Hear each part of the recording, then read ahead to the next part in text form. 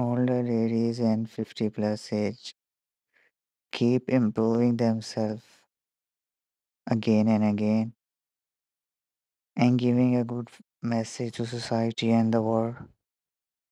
to in real life are on social media also by gaining followers is older women showing their progress in fashion and in their fitness. Keeping yourself fit in 50 plus age is not an easy thing, but these older women have all our respect by doing it.